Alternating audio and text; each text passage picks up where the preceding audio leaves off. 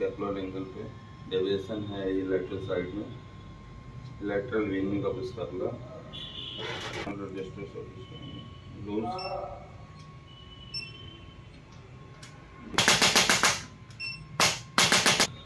yes बस बिल्कुल ठीक हाँ सांस छोड़ दो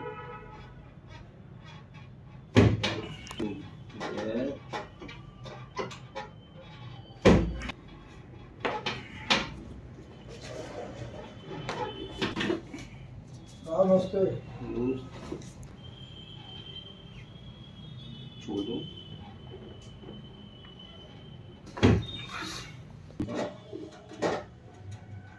होल स्पाइन को मैनेज कर रहा हूँ यस सांस बाहर लूज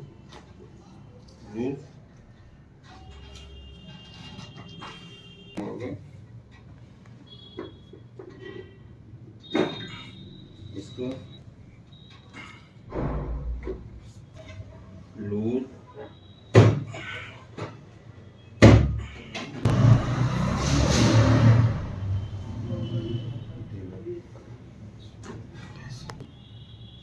बस गुड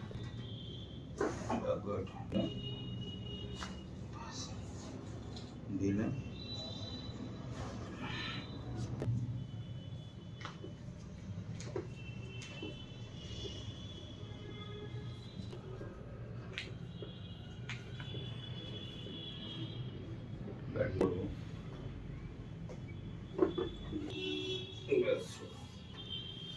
क्या नाम था आपका? लक्ष्मण। लक्ष्मण। और कहाँ से आए हो? मऊ। मऊ। क्या करते हो आप? ये प्रिपरेशन चल रहा है मेरा नीट का। मेडिकल तैयारी हाँ। करते हैं। और क्या प्रॉब्लम थी आपको? मतलब बैक पेन होता था शोल्डर में। इनको बैक टू स्कैपुलर पेन था। स्कैपुलर पीछे की जो पंखे वाली हड्डी होती है उसके नीचे साइड में दर्द था। Level two T seven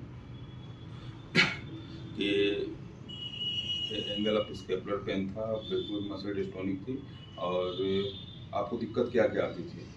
one sided body pain होता था राइट साइड राइट से राइट से पूरा पेन था आपको। आज ये तो कौन कितनी सिटिंग हुई है आपकी? सेकंड से सेकेंड सिटिंग है आपकी। कितना आराम होगा? 80 परसेंट आ रहा एट्टी परसेंट संतुष्ट हैं आप? बिल्कुल। चलने वलने में भी कोई दिक्कत नहीं नहीं नहीं कोई दिक्कत नहीं। पूरा मतलब समझिए आराम ही आराम है आपको। नींद और प्रॉपर आती है आपको? हाँ हाँ। कौन बताया था आपके बारे में? मतलब मैं यूट्यूब पे ऐसे ही सर्च कर रहा था तो आपकी वीडियो देखा आपके ठीक है। ट्रीटमेंट सही रहा हाँ। हाँ, तो ऐसे इसका जो ये कोई बहुत बड़ी इशू नहीं है ये जो आपको है समस्या। ये बेसिकली जितने भी स्टडी करते हैं, वो प्रॉपर अपनी बॉडी का पोस्चर सही नहीं रखते, जिसके वजह से मसल एक पर्टिकुलर पोजीशन पे ही वर्क करती है। उसके मसल से मसल फटीग होने पर वो स्ट्रेच आउट हो जाती है। फिर वो रिलैक्स नहीं होती है। उसकी वही पेन लगातार बना रहा।